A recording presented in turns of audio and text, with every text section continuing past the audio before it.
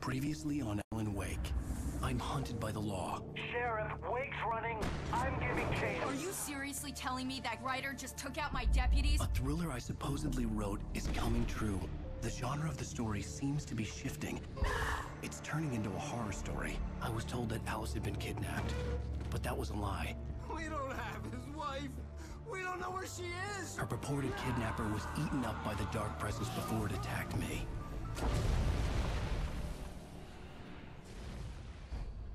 The truth.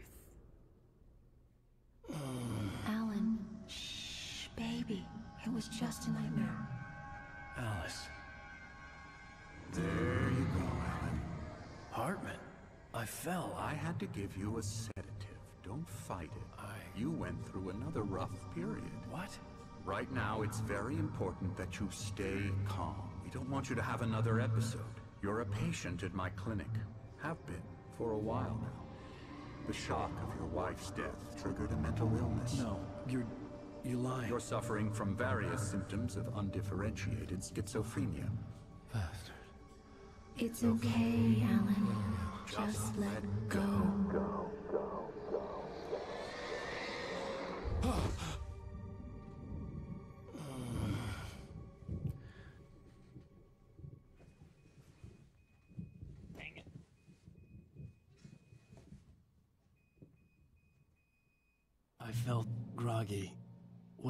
Whatever Hartman had bumped in me was making me numb. I felt like this was happening to someone else. Someone I was watching on television. I couldn't think. Couldn't focus. The door was locked. I was a prisoner here. There were only empty sheets of paper here. No manuscript pages.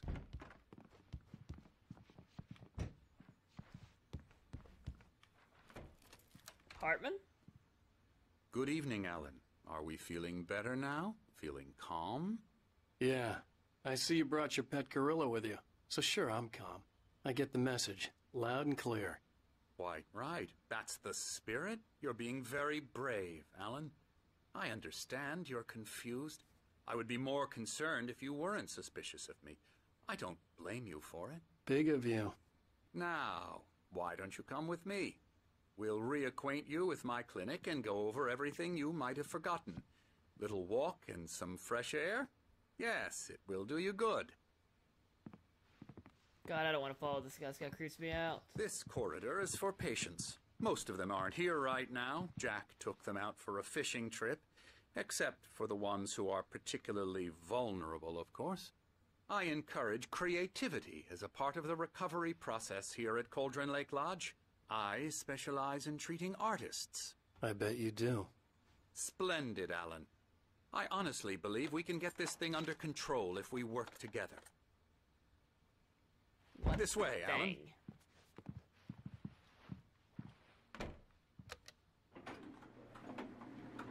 Elevator, I'm free. Get me out. Aw.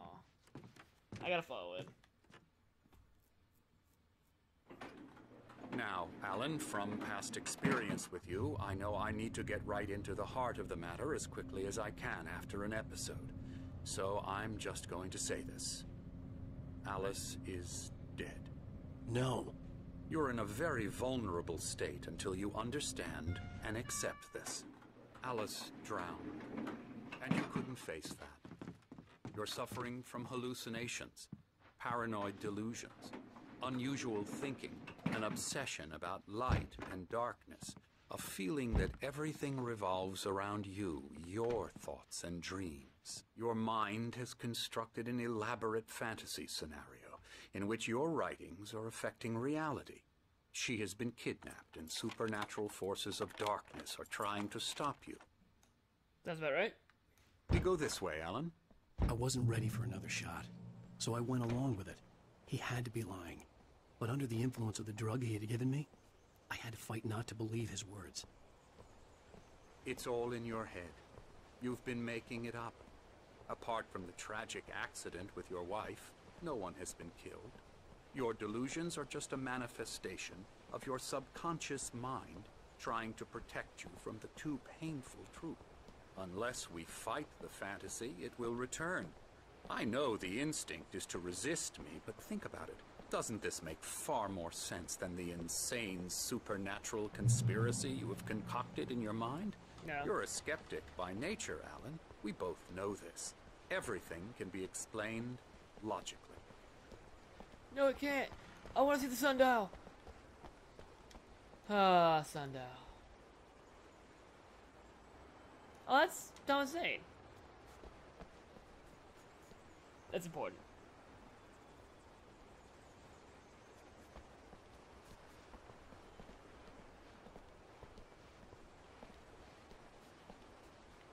Ah, I never get tired of this view. Very inspiring, isn't it? Cauldron Lake spread below us. I could see Mirror Peak on the other side of the lake. I thought I could make out the spot where Diver's Isle had been when I arrived with Alice. Now there was nothing but waves. It seems there's a storm coming. Funny, I don't recall there being a mention of that in the weather forecast. Well, no matter. This way, follow me. Alan, what I'm telling you is good news. Right now, we're in control. Every time you have a relapse, it gets more and more difficult to resurface from the dark depths of your imagination. Not surprising, considering your profession. Imagination is what you work with. After all your nightmares, this should come as an immense relief to you. If it doesn't, why is that? Because I'm lying? Or because you don't want to admit that you're not well? You're lying. It's very natural for you to think of me as your enemy. It's part of the illness. I let him talk. all, I'm Hartman the obviously trying loved his own voice. Out of the world His words echoed madly yourself. inside my head. But I can't I dug my nails by into the palms of my hands to stay You focused. need to work with me. Once you accept that, we can begin the journey towards your recovery. Come along. Let's go inside. The fair part is he didn't talk about once about the timeline. Uh, here's the entrance to the office wing. That's for staff only. Scary, You were impressed by my scary, trophies when you scary. first arrived here. I do love to hunt. The great outdoors, man versus nature. It's wonderful. Thermos. Yeah, that's right. I got you.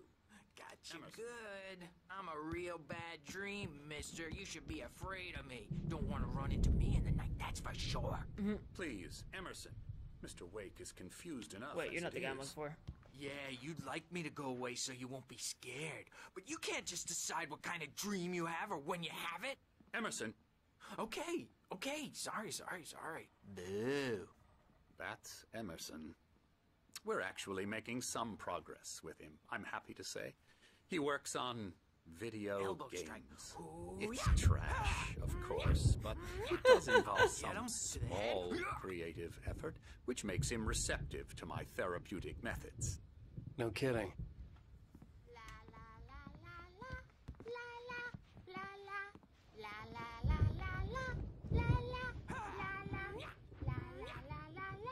Were you ever there a second ago? Come, Alan, this way. Now, you might have noticed the typewriter in your room.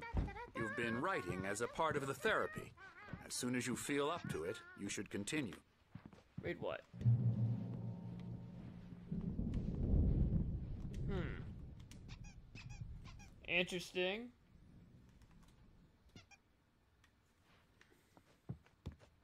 My rheumatism's Hey, killing Sam. me. There's a storm coming. Oh, what a storm. I hope it wipes this place off the face of the earth. And these two are the Anderson brothers, Odin and Tor. They had a. How should I put this? A heavy metal band in the 70s and 80s called Old Gods of Asgard. They even adopted new first names to complete the image of Viking gods. After the band broke up, they lived on a farm nearby. They are, well, in advanced stages of dementia. They're well cared for, TLC and all that. There's nothing more that can be done. I'm afraid that the rock and roll lifestyle has left its mark. He's got a hammer. Oh, that won't do. I'm so sorry to cut this short for now, Alan. The power has been acting up. I'd better go check on it. We'll continue this soon. Meanwhile, when you feel up to it, return to your room and try to write. It really is for the best. Don't you think? Hmm. I'd like to bash his head in with a hammer. Oh, he'd love to fish out our secrets, but he has no clue. He's not crazy enough. not crazy like us, Sonny. Yeah! Being crazy's a requirement, Sonny. Who else could understand the world when it's like this? It takes crazy to know crazy. That's the sanest thing I've heard in a while. Zane! You're all right, Tom. Hey, we like him, don't we, bro? He's got to go to the farm. The Anderson Farm. Valhalla! We wrote it all down, lest we'd forget. A crash course. All you need to know to get your head right. You need to find the message. Here, Sonny, here's something for you. Gave me a rash, but I kept it safe What? from these bastards. Thanks to the My head was clearing up, or according to Hartman, I was sinking back into the fantasy. I was convinced he was lying to me about everything. Crazy or not, the Andersons made more sense. He's checking on it now. Yeah, good thing he's not overreacting or anything. Well, he's the boss. I may need a hand here later on, Birch. The storm's bound to make you know who jumpy. You know how they get. Gotcha. The doc's got me looking after Wake here, but holler if they get too rowdy. I'll do that. Something's wrong. I'm not myself. It's hard to think. There's a shadow inside my head. I can only focus on writing. Everything else is a blur. I'm trapped in this cabin. Have been for days, but it's always dark outside. My editor is real. I saw her again. She's not human. It's not human. A dark presence is wearing the old woman's face. She was covered in clinging shadows. There's a hole in her chest where her heart should be.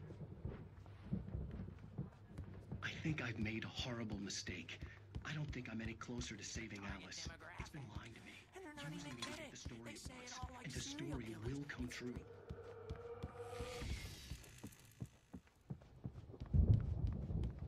Hey, Wake, why don't you humor Dr. Hartman and give the writing a shot, huh?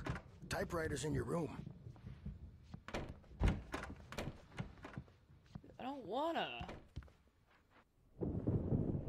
The white glare of the blank page in front of me hurt my eyes. My hands began to shake uncontrollably. Everybody, calm down. Put that down. Bert, I need help. Hey, Wake, you stay here. I'm gonna go see what's up. You just keep doing what you're doing. Be cool, okay? He's an older man. It's kind of weird for an older man like that doing uh. I didn't know what the chaos was all about, but it could be my only chance of getting out of here. Where the hell did he get a damn hammer? I don't Hammer's up. Here's a friendly Hey, hey. from Mjolnir, witch. Oh, afraid of the crazy brothers, are ya? Not so weak now, are we? Sinclair looked bad. That wasn't a love Well, tap. things The crazy old unraveling fart hit her hard. If she was one of Hartman's Now goons, she backstage had it is coming. all I had to get to Hartman's office. He had taken all my manuscript pages. My That's where he'd been keeping I'm them. taking it. Come out and face the music, Birch. It's time to pay the piper. Well, We're let's on keep the moving then. comeback tour, baby. Maybe you could come out and meet our ripple. Hammer's way will have it say. Why are there many manuscript pages here?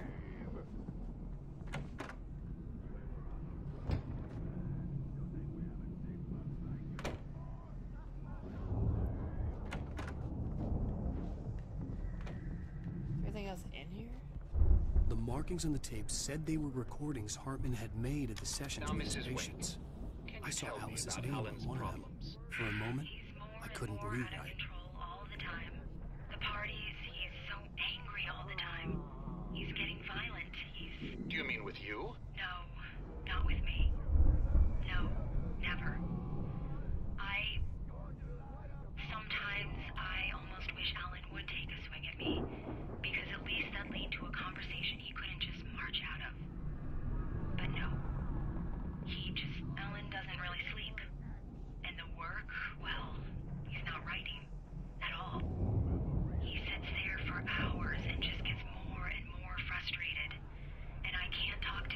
Yes. Tell. Wake. What would you say to him if he'd listen? I don't know. I want to say, I look at you, and it's not you. Just some stranger who resembles you. Looking out from behind your eyes. And I don't like that guy much. And now it's all gonna go to hell. But you don't ever say this. No. No. I've tried, but he's not listening.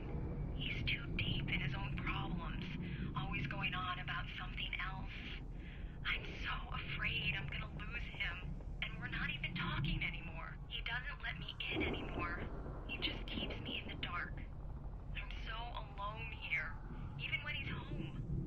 Please help me, Doctor, because I'm at my wit's end. Well, if you can just get him here, I'll absolutely do my very best. Yeah, but Doctor, you need to be careful with him. He's not just going to listen to you and cooperate. He's the most stubborn man I've ever met. Well, I'll be sure to bear that in mind. Hearing her voice, what she was saying made me happy and sick and guilty all at once. Worst of all, I recognized the words. The phone call from her. It had been a cut up of this. Just a recording. Let's do it again. Rudolph Lane's case is interesting. He was completely blocked, and frankly, I was about to discard him as useless. However, once Wake arrived and started writing, something changed in Rudolph. He's producing extraordinary work, increasingly dark pieces. Unfortunately, he doesn't respond to direction at all, and it's my belief that he's not so much a creator as an illustrator, perhaps, a recorder of sorts. I hadn't considered the existence of such a role before, let alone its implications, but the paintings he has produced are informative. At least he's easily controlled and useful. I wish I could say the same about Wake. It's frustrating that the best subjects are always so damn difficult to deal with. Interesting. Not buying that. I was tailing Wheeler, and this is the only place he could have gone. That means Wake is probably there too. Agent Nightingale, this is private property, and I will not allow you to disturb my patients. Yeah? I can get a warrant. How are your fragile little patients like that? oh, I'm thoroughly intimidated by your mighty authority now, Agent. Listen, you smug snob. How would you like it if I busted through this gate and knocked you around a little? Agent Nightingale, first of all, I'm recording this conversation, so you might want to watch what you say. Secondly, you're not dealing with a hick now. I know the law, and if you can get a judge to grant a warrant, I'll be glad to cooperate. But you won't get one. Be advised that any further communications with me are to be made through my lawyer. I don't believe this. Good day, Agent. Yeah. Correct. Okay, maybe I do like Hartman. The photo on the wall caught my attention. In it, the clinic staff was standing outside the lodge. I knew the man next to Hartman. He was the kidnapper. Hartman had been playing me all along. I represent a celebrity. They'll be looking for me. Oh, that's how you want to play it? Is that how Barry? you want to... Ow! About time! Barry, man, am I glad to see you. We need to get to Hartman's office. It's right next door. You okay? Yeah. I mean, no! The cops found me at Rose's trailer.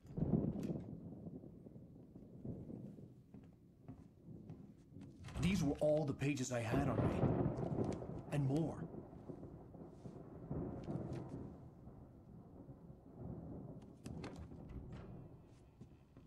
Alan, please. You're sliding back into the. Tell me one more lie and I'll shoot you in the face. Ah, well, it was worth a shot. Really, Wake, come on. Let's work together on this. You have no idea. Hartman, shut up! Barry, get out of here. I'll catch up with you. Get a car. Oh, Al, let's just. hmm Wake, listen to me. This is a mistake. Don't you see? Together we can create something absolutely wonderful. With your ability and mine.